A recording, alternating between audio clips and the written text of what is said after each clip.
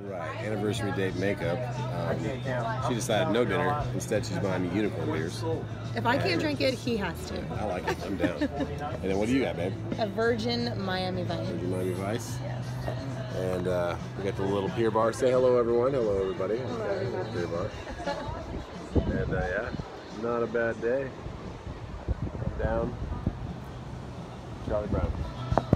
Kiss.